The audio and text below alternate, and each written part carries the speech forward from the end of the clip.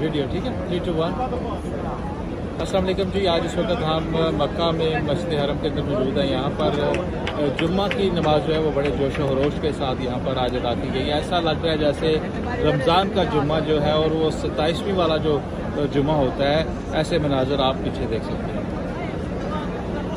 ठीक है?